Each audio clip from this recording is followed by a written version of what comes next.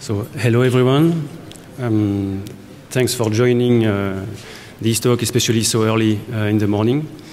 Uh, my name is Emmanuel Bouillon, and I'm going to discuss uh, with you today some security issue, issues that you might have to cope with when dealing with a federated identity. And more precisely, I'm going to discuss a specific type of federated identity, which is a SAML-based federated identity. So first, um, I'm an InfoSec, uh, InfoSec guy, and uh, more importantly, everything that I'm going to say today uh, expresses only my own view, my own views, and um, especially do not involve any of my previous, current, and future employers. And everything is provided for educational purpose only. Okay, so that being said, here is the outline of uh, this presentation. It's made of uh, six parts. First, uh, an introduction. What is it about and uh, why uh, should we care? In the second part, I'm going to discuss uh, what is the problem we are trying to solve and uh, how have we been doing it up to now. And then in the third part, I'm going to introduce uh, some, not all, but some of the standards and specification around the federated identity area. And um, I'm just going to give the, the, minimum material so that everybody will have in mind what it, what it what is needed to, to take the most of, uh, of the rest of the presentation.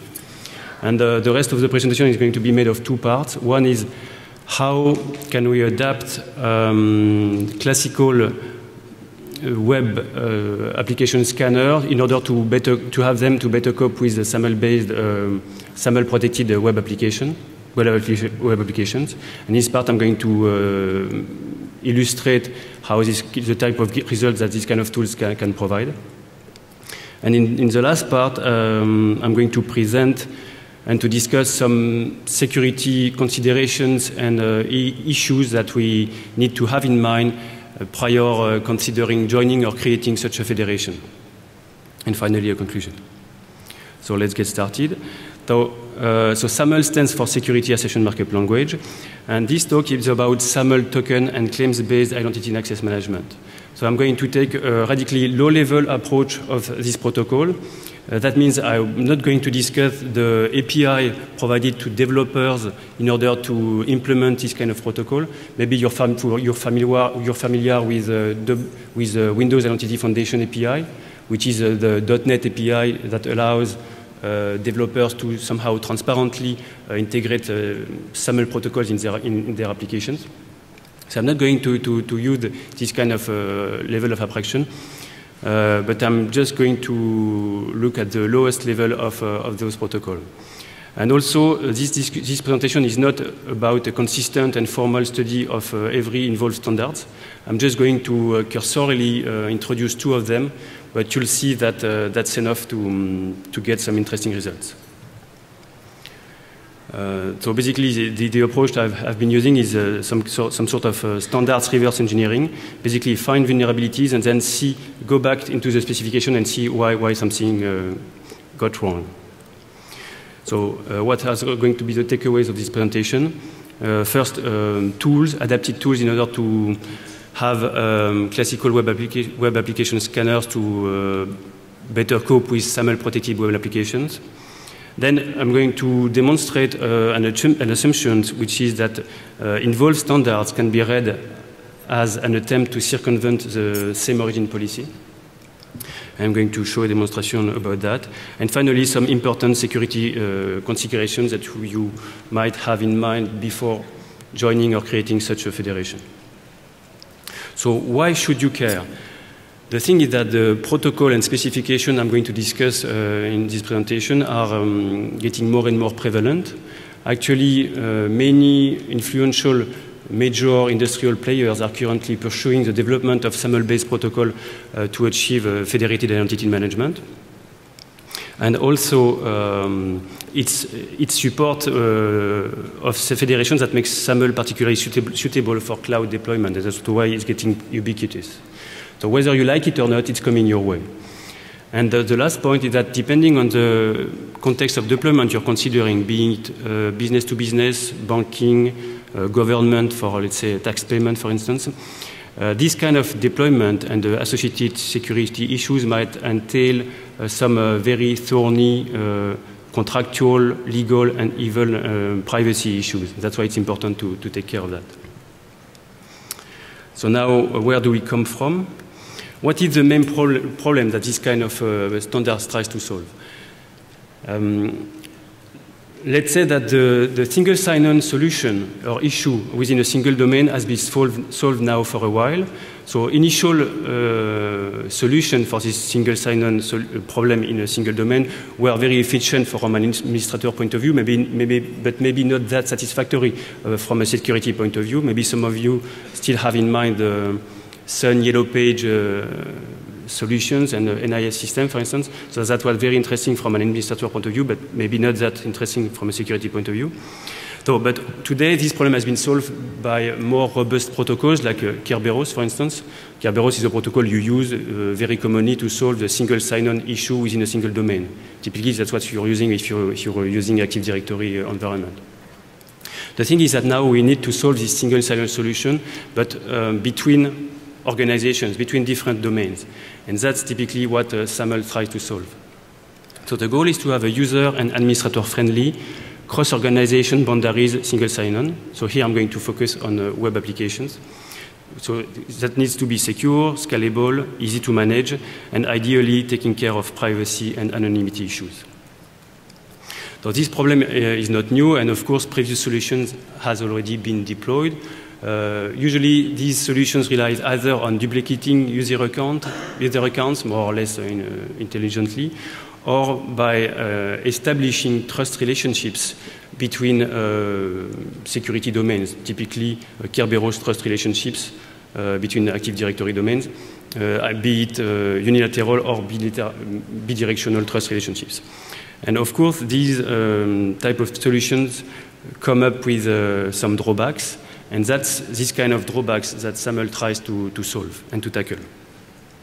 And also regarding the problem of privacy and, anonymity, some previous standards have been defined but never really uh, been uh, deployed nor, nor uh, widely adopted. So what do we need to know about um, federated identity standards? So in this part, I'm just going to give a very, very high-level view of uh, some of the involved standards uh, around federated identity. So here you have uh, a diagram that shows the complete ecosystems of uh, specification around federated identity. Uh, as you can see, they are quite numerous, and uh, most of them are supported by uh, an organization called OASIS, uh, the OASIS Consortium, which OASIS stands for uh, Organization for the Advancement for the Advancement of Structured Information Standards. So I'm not going to discuss all of them, but just to introduce two of them. So first, the SAML uh, specification, which in fact it's, it's, a set of specification of specification in itself.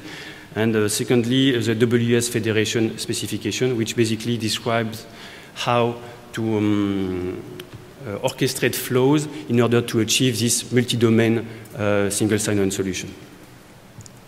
So let's start with, uh, with SAML. SAML stands for Security Assertion Markup Language, and um, basically uh, it consists of of building stone components which, uh, once put together, allow a given number of use cases to be supported. And uh, these components primarily allow the transfer of identity information like uh, authorization, attributes, and so forth between autonomous organizations that have an established trust relationship. That's the, the primary goal of, uh, of SAML. And there is also uh, something you need to know if you start looking at this kind of uh, specification and document, that's the fact that uh, there is um, there are some terms which have a specific uh, definition in, the, in, this context, so it's better to, to know their definition.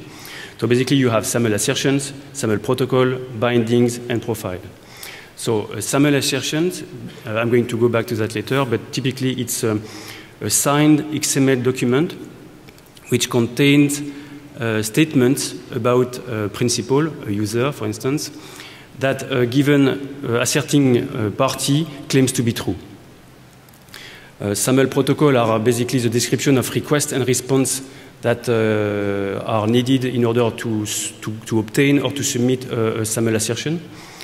And SAML bindings are the mapping between SAML protocols and uh, other layer of um, transport protocol. Like typically, you have bindings uh, for SAML and SOAP. You have the HTTP redirect binding and the HTTP post binding.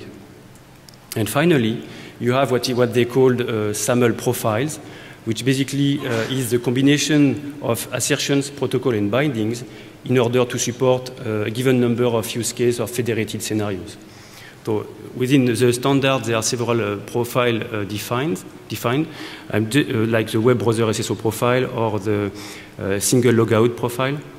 I'm just going to mention two of them uh, in, during this talk. First, the web browser SSO profile, because that's really the most common uh, use case, uh, uh the most widely, widely used, uh, used use case regarding SAML uh, specification. And the second one is identity provider discoverability profile. I'm going to mention this one because actually it is prone to some security issue. So what are SAML assertions? So as I said, uh, a SAML assertion is a signed XML document containing claims or attributes about a user. So, and it, it's a set of claims contained in a SAML assertions that define the, the identity uh, in regard to the, um, what we call the relying parties, that means, the, let's say, the, the, web application. So, and uh, what is in, what you need to have in mind also is that these, these claims do not need to be distinctive for this user. It doesn't have to be a login name, for instance, or things like that. It can just be a statement like, yes, this user has paid its monthly fee for the public library, or uh, yes, this, this, user is over 21. So here is uh, how it looks like. So it's a, uh, with no surprise, it's a, it's a signed um, XML document which follows the XML digital signature standard. So you, you, you get information regarding the, is the issuer, uh, regarding the signature, how it has been computed, etc. You get information about the, the subject, and more interestingly, you, you, you, you get information uh, about the attributes contained within this SAML assertion. And uh, typically in uh, the enterprise use case, these attributes are obtained from uh, an enterprise directory that can be group membership, uh, yes, this user has this role in my organization, or yes, this user has this email address in my organization. And uh, as you can see above, there is also uh, some specific attributes that can be of interest, like uh, the audience attribute. So the audience attribute is uh, basically the statement that says for which relying party this SAML assertion has been made of. So that's interesting because that, allow, that allows to prevent some SAML reuse attack but uh, for this to be effective, it needs to be taken into account by the relying party side of the implementation. And as we'll see uh, later, it's not always the case. Some implementation do not verify that, and that's uh, obviously a security issue. So how is SAML used? SAML is standard-based, so uh, widely supported and supposedly interoperable between implementations. And uh, the underlying standards include XML encryption, XML digital signatures, and X509 34 certificates. Uh, it heavily relies on HTTP for um, uh, conveying the SAML assertion through the network, so that that's easily uh, goes through firewall. There are several um, way or type of, types of deployment. It can be deployed in a local network. It doesn't have to be in a federated environment. It supports branch branch offices de de um, deployment. It allows remote users to access the corporate network, but also, and more importantly, it supports, it supports federation and the federated uh, scenario. And that's, uh, I'm going to discuss that uh, more into detail uh, later, into more detail later. And so basically the idea is to have a nice, uh, neat, cross-domain um, single sign-on solution so that uh, users, our beloved users, are happy with their experience. So how does it work here? I'm, doing, I'm going to focus on the web browser SSO profile. Uh, basically, it's a four steps process. First, you have um, your user who, who request access to a claims-aware web application, and at this request do not contain any SAML assertion, the web application is going to redirect the, um, the web browser to the user's identity provider using the uh, HTTP error code 302. And at this point, the user's identity provider is going to authenticate user, the user one way or another. We don't have to know the, the, type of authentication that's going to be used at that point. It can be providing a login password or just using the corporate uh, single sign-on solution, typically uh, Kerberos-based. So once the identity provider has authenticated the user, then the, um, the identity provider is going to, to build a claim with appropriate attributes inside and sign it and send it back to the, to the, um, to the user's browser with a, an HTTP post form with an auto-submit request to the web application. So that's how it's going to be transparently, uh, this SAML, the assertion is going to be transparently sent back to the web application. And as this web application is claims aware, it's going to grant access to this user, to this user uh, according to what is uh, inside the, the claim, the SAML assertion. And that's how you achieve the single sign-on solution. So user, our users are happy with that. And that's really interesting from an administrator and developer point of view. Because in fact, the, um, from the web application side, you don't have to know and to deal with what kind of um, authentication mechanism has been used. So the corporate, the corporate environment can completely change the way authenticator, uh, users are authenticated. The code of the web application still, still remains the same. That's what makes it really interesting from a developer point of view. So now you could say, so what? Because indeed, um, okay, we have a, a single sign-on solution for web applications, but actually there are other ways to achieve that. Um, typically, you can use uh, SPNEGO uh, over GSS API with uh, uh, either Kerberos or NTLM, NTLM as a security underlying party. So you could say, okay, why bother about that? So the main, uh, actually, the main idea um, for that is that it supports federation, that is the sharing of identity between domains, what they call in the, in the specification the multi-domain SSO uh, issue. It also supports delegation, that's uh, the maintenance of identity to backend services. And also it, provi it provides an enhanced access control, which, which we call uh, role-based access control. Uh, it's a very finer, uh, fine, it provides a fine grain, uh, finer granularity regarding how you can provide access control to your web applications. And uh, so that's it for SAML. So the second uh, standard I, I, wanted to introduce here is the WS Federation uh, standard. So WS Federation is an approved OASIS specification that defines mechanism to allow different security realms to federate. So what, what does it mean? Uh, basically, access to resources managed in one realm can be provided to users or principals whose identities and attributes are managed in other realms. So that's, that's how you, you, you guarantee the fact that uh, users management stays on uh, the side of their own um, authoritative domain. You don't have to bother about users management of the other domain. So that's, how, that's why it's really interesting. And uh, also it includes mechanism for brokering uh, of identity, attribute, and authentication uh, between uh, realms, realms. And in this document, in this specification, the last chapter is about security considerations. So it's a very uh, small chapter, it's one page. And uh, the last bullet of this chapter is about compromised services. And I'm mentioning it here because I'm going to get back to that later and see how this kind uh, of consideration might really be an issue depending on the type of deployment you're considering. So here is basically how it works. So uh, it's a very simple use case you, you, so it starts by having your, um, your web browser, uh, your client connected to web application. As you don't provide any claim to this uh, web application, it's going to redirect you to its own identity provider. At that point, the, the, the target domain identity provider is going to redirect um, the browser to the user's identity provider. At that point, the user's identity provider is going to authenticate one way or another the, um, the user. And if once authenticated, the identity provider is going to um, retrieve some attribute, typically from an enterprise uh, directory, build a claim, sign it, and send it back to the browser using, using a post redirect to be sent back to the identity provider of the web application. And at that point, the identity provider of the web application is going to, of course, verify the signature and also possibly change, add, remove any attributes within the claim signed it back, uh, signed it and send it back to the web to the web browser with a post redirect to the web application. At that point, the web application which is going to receive this signed claim, this claim, this claim is signed by, by its own identity provider, so it's going to be trusted. And according to attributes contained in this claim, is going to grant access to its resources. So that's basically uh, how uh, this, this multi-domain single sign-on um, uh, solution at the very high level is achieved. And uh, just to be complete, uh, just be aware that they are, okay, that, I've just introduced a very uh, simplest use, cases, use case, but uh, there are more uh, complex um, architecture supported by the standard and the specification, and uh, like typically what they call the procured federations model, which basically is when you have a centralized um, identity provider which is trusted by many others.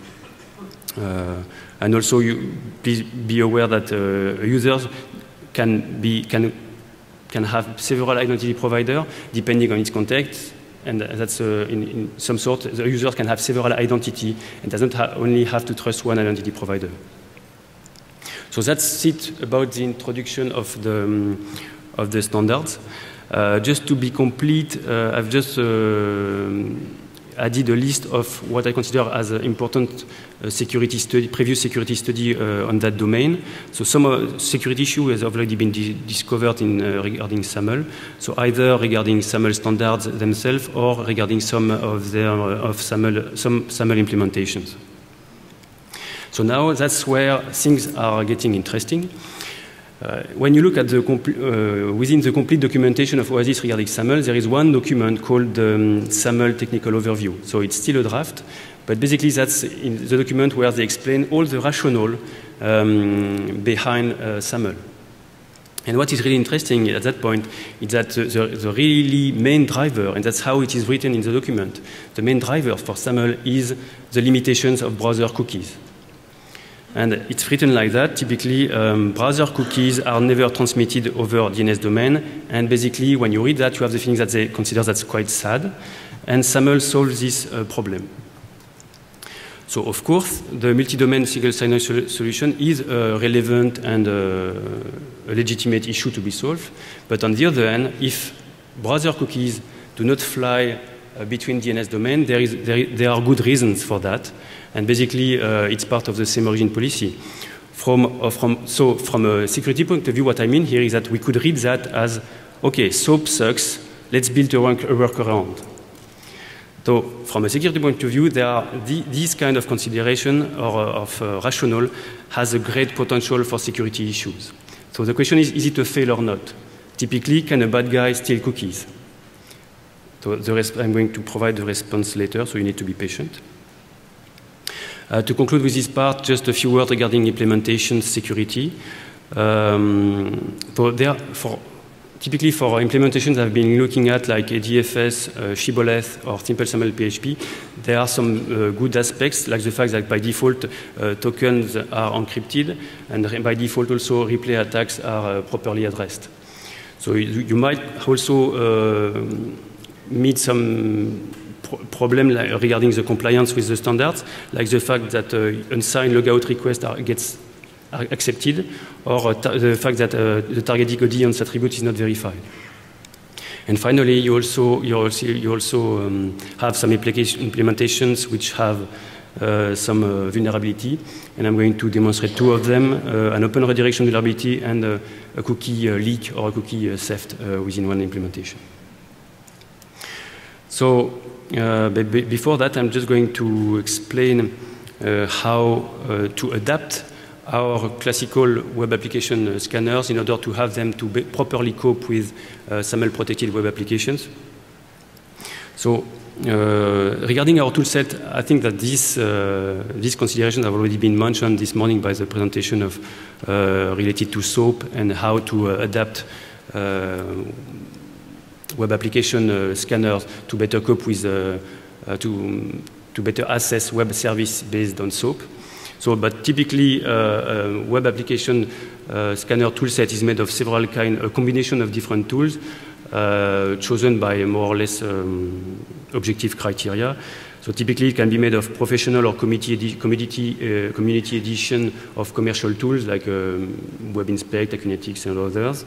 You can use free and open source software um, for web application scanning, uh, Skipfish, Nikto, uh, and some typically some Firefox plugin, plugins also. And also very often when you discuss with people uh, doing that for a living, they very often use uh, their own homemade custom scripts that they have been developing uh, throughout their year of experience.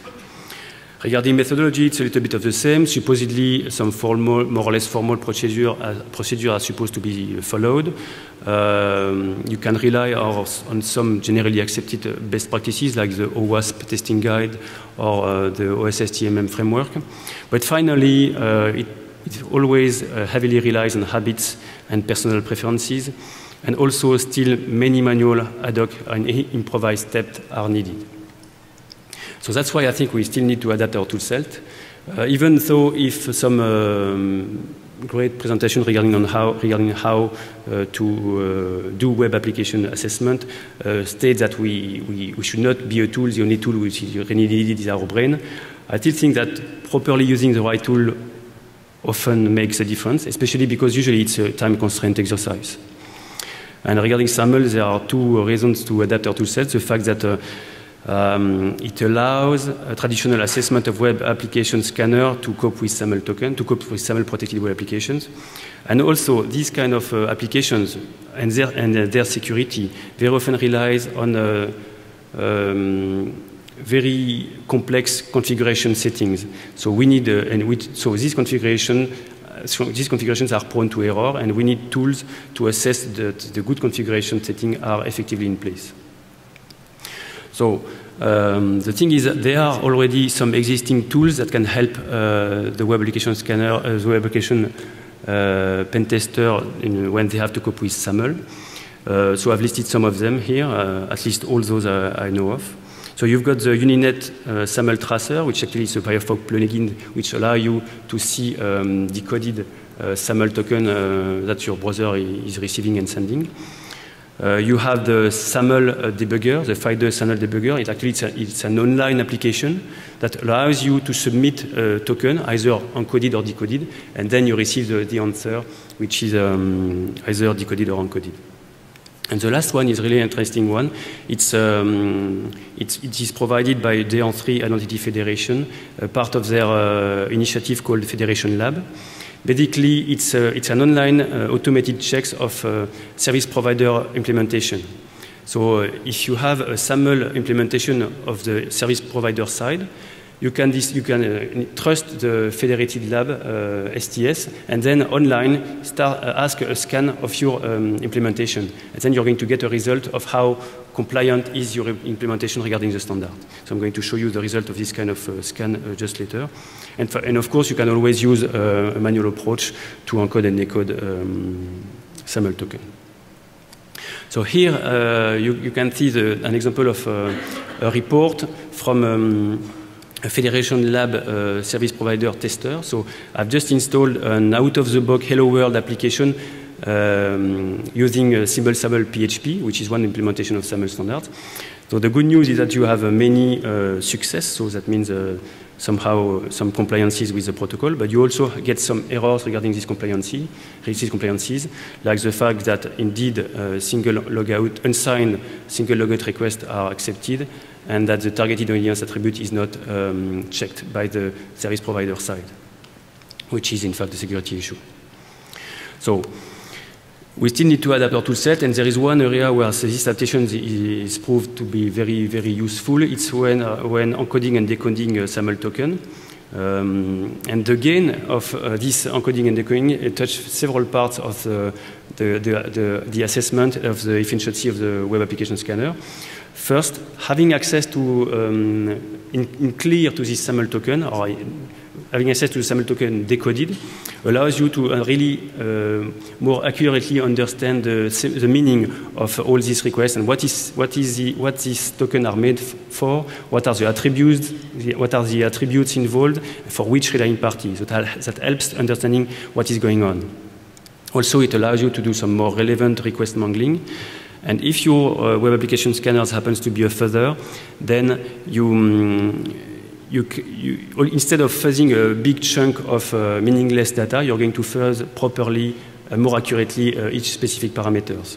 And also it allows you to thwart uh, some anti-replay safeguards, like the fact that you, you need to change uh, random numbers on, at each different request. And it allows you also to update timestamp on the fly, which then allows you to have long, long um, long uh, scans to, to unfold properly, which avoid some uh, false uh, negative results.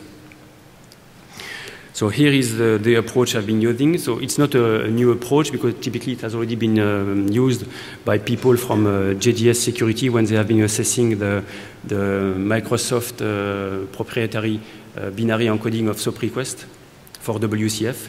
So the idea is to chain proxies. So first you have a pre-processing proxy uh, which, which, role is to um, whose role is to decode requests and encode responses. The middle proxy is actually your real scanner when you have when you do your real let's say, assessment and when, when your intelligence as a pen tester uh, take place, takes place.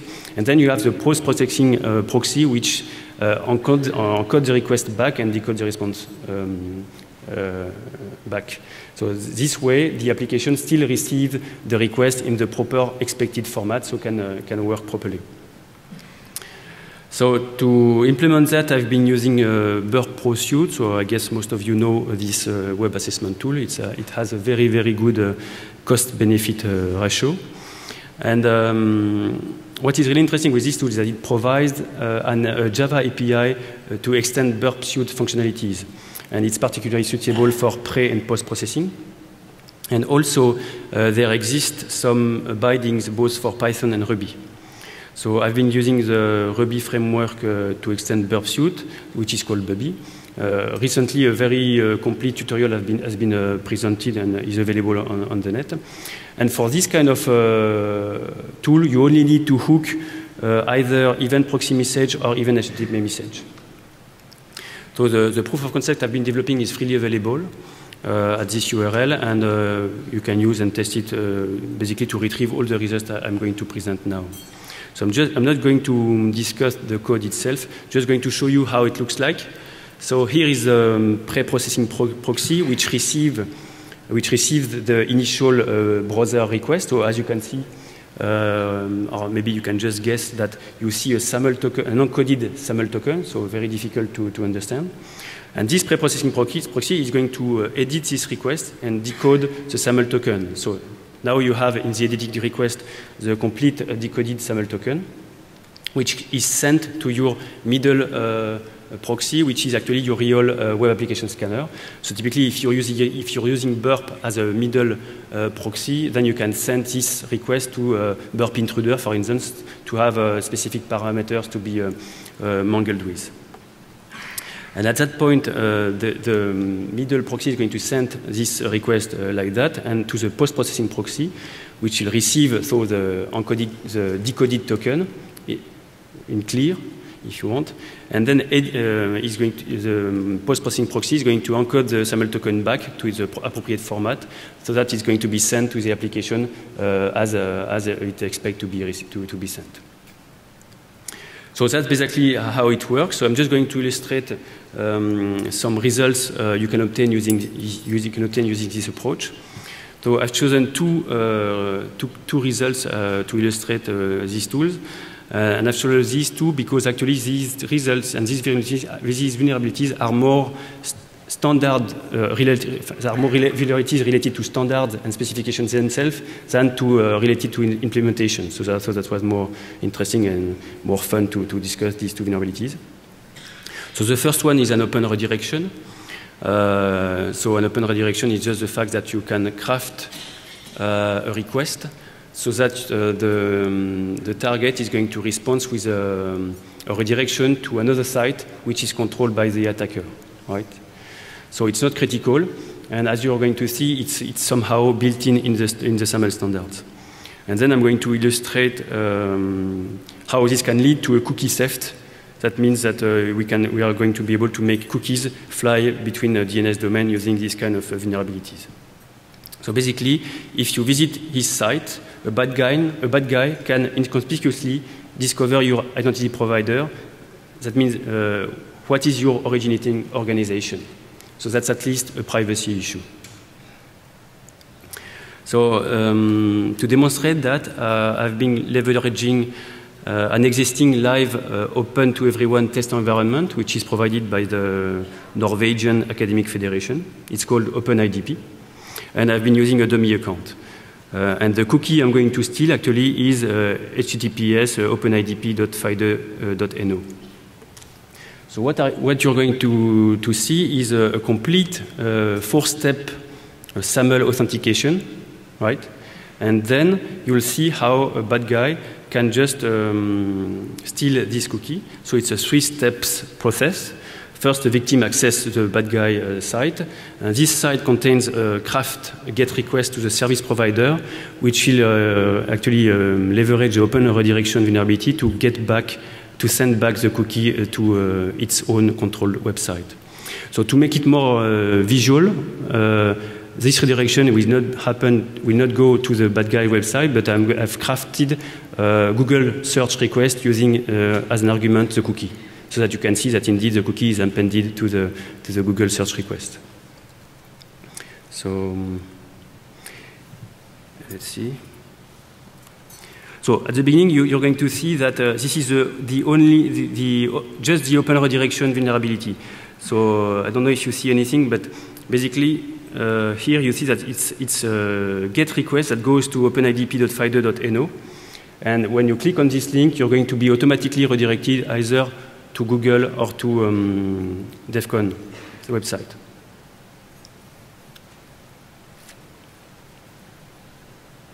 So that's a Google redirection. Then I, you have the same thing with, uh, so this request goes to OpenIDP and gets redirected to DEF CON. So that's, that's, that's just the open redirection vulnerability, so nothing very critical. But then Let's imagine that your user is uh, connecting to a service provider that uses uh, SAML and OpenIDP as uh, its uh, identity provider. So here, the, he, this is the service the relying party, which is called veryopenid.net. I choose my um, identity provider. Then automatically, I get redirected to my uh, identity provider. I need to authenticate, so here by using a login, a login password. And then you'll see that this identity provider is going to craft a SAML request and send back to the uh, application so that I get um, authenticated. So that's, that's the four-step process you, you know, you have been describing. And now, if you click on the malicious um, link, you'll see that the redirection end up with the, the, um, the theft of the cookie. Right? So that's the demonstration. I hope that's, uh, that's clear. So that's how you can steal a cookie and make cookie, and make cookie flies between, between DOM using this uh, kind of vulnerability. So the thing is that actually, um, if, if, you go back to the standard, it's, it's, these vulnerabilities are not implementation issue, but more uh, specification issue, because um, it comes from the identity provider discovery uh, service profile, and actually it's built in. The open redirection, when you look at the standard, it's, it's written like that. The open redirection is in the specification. And actually, uh, when they wrote this, this uh, specification, they somehow felt that there was a kind of issue. Typically, this is a quotation of the, of the, of the standard. This protocol had the potential for creating additional opportunity for phishing. So at least they were aware that it was dangerous. But, and they proposed a workaround based on service provider metadata, but it's only should workaround and there's no way on they don't explain how we could exchange metadata between the service provider and the discovery service. So basically, the developer have just implemented properly the standard and they get vulnerable. So that's what I wanted to show uh, you about this part. And the last part is about um, consideration regarding the design uh, of uh, uh consideration about the deployment and trust topologies. So as you remember, this is the simplest use case of um, uh, federation scenario. So you have two uh, organizations with a trust relationship. But of course, you, um, there are more complex, uh, there are more complex deployment scenario. So the question is, does it really this kind, does this kind of deployment really implement new risk? Uh, it's, it's, it's, a contentious issue, but basically, uh, other solutions are not that more secure. So uh, that's, to be simple, that's what I, uh, we can say about that. So here is a, a, sim, a very simple um, deployment scenario. You have one organization which tries to access another organization application, and uh, the access control is based, for instance, on the user's email address. So, and typically, what happens in real life is that you have several domain. Uh, organization B has several customers accessing its um, uh, application. So now the question is, what if one of the organizations gets either malicious or compromised? Typically, what if organization C sign a claim for uh, a user of organization B? The thing is, by default, if you installed everything by default, this is going to work. That means that your application is going to grant access regarding the uh, attribute which is in the claim, because from a signature point of view, everything is fine. So you need to, to implement yourself all the business checks at that point that will prevent this kind of um, uh, attack to, to, to, to be working. But that's not, you need to do that. That's not implemented by default. But at least in this simplest, simple scenario, you can do it. You still can do it. The thing is, there are more complex scenarios and more realistic scenarios where it's getting more complicated. Typically, when you have um, uh, an indirect trust relationship, where you have a central uh, trust broker that convey trust between organizations. So at that point, so here is how it works. You've got one organization which trusts organization D, which then uh, is trusted by organization B. So, and then you have this single sign-on uh, solution that works perfectly fine the same way, uh, flowing between these three organizations. Now the question is, how, uh, what if organization C signs a claim for a user which is not part of its own organization? Let's say, what if organization C gets uh, either malicious or compromised? The thing is, in this case, if organization D do not do its job by checking everything that needs to be checked and which is not done by default, then organization, organization B has no way to see the trick and to see that things got wrong. So if the STSD signs the token, then STSD, STSB has no way, as, as an organization, the organization B has no way to, to, to see that something went wrong. So that means that in fact, organization B fully relies on organization D to properly check SAML claims. Uh, but so that means that then what is the policy for that? Do we have a way to verify? Is auditing permitted, etc.? And how to prove other parties' compliance with relevant requirements. So that's typically the questions that are usually unasked and even less answered. So the bottom line is, what about a malicious or compromised ADP in a federation? And can a malicious ADP impersonate another domain's users? That's really uh, the main, uh, the bottom line issue. And uh, is there any safeguards in place? That means business checks that prevent that. And who own these uh, safeguards? Do you, as an organization, own this safeguard, or do you, regard, uh, due to the fact that it's a trust, an indirect trust topology, topology, do you delegate this kind of, of uh, safeguards? So that's, that's in fact, uh, because when you look at implementation, by default, these safeguards are not implemented. And if you get back to the, pro, to the standards themselves, actually uh, this kind of consideration has just been cursorily mentioned in the, in the, in the bullet I mentioned uh, previously, which is the compromised services. And indeed, they, they recognize that this is really uh, a very major issue when you have this third-party broker trust relationship. But on the other hand, in practice, it works by default. And th there are no proposed solution on how to prevent, to prevent that. So in the case of a third-party broker trust, uh, you, you, you, need to control the loss of controls. That means who, who is li whose liability is involved, etc. What are other parties' ob obligations? And that's the concept I've called uh, SAML claims laundering. So all, all, relies, all relies on the checks made at each level. This must be done since default settings are permissive. So typically, way, uh, ways to do that is to have key attributes which are kept or added to avoid uh, the turning the situation into a blind trust to this organization D um, part. And the thing is also, when, on main federations, when you join a federation, usually, usually you, you, don't have access to this policy. So you don't know exactly what checks are in place. And that's, that's an issue. So um, that ends up uh, this um, presentation. Uh, so the main takeaways of this presentation are first uh, knowledge uh, and tools to keep on properly assessing SAML protective web application, how, and uh, how to adapt um, the tool sets, uh, classical web application scanner tester tool set to cope with SAML protective web application. Then proven assumption that the fact that standards um, can be read as an attempt to circumvent the same origin policy. Uh, so you've got the tools and process to, to go there. And also important security design consideration. Uh, the thing is that without taking care, uh, insecurity by design is possible. And typically, when you have cross-domain uh, trust relationship with Active Directory, for instance, if one domain gets compromised, this domain cannot impersonate other domains users. Whereas with a SAML indirect trust implementation, it's possible by default. So you need to take care of that. With SAML cross-based, cross, cross, uh, cross-domain SSO, by default, this kind of uh, situation will occur. Uh, of course, this approach applies to other form of delegation of a federation. Uh, develop, in this field, developers and uh, marketers are ahead of security guys, so and, yet default security settings are not secure. So the make it working approach uh, might lead to insecure deployment, and that's why we need to keep up with uh, this kind of uh, protocol uh, to avoid big uh, deployment uh, security failure and post-mortemly discover that there, there has been an issue.